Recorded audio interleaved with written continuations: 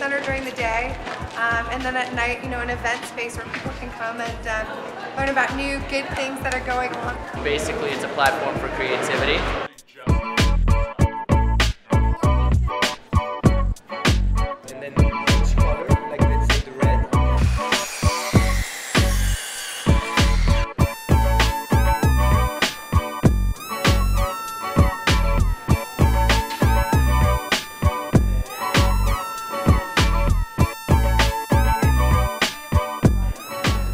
That bike powers a DC generator and literally supplies power to the appliances as they're pedaling.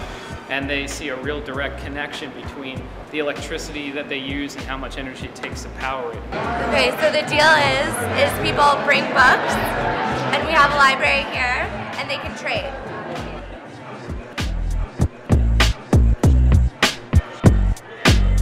Uh, we're starting a new campaign called Speak Now, and basically having uh, video appeals from you know American, you know our generation to our congressional leaders, to our elected officials, uh, demanding political action on climate change, uh, on global warming right now. Well, it's the New York City condoms.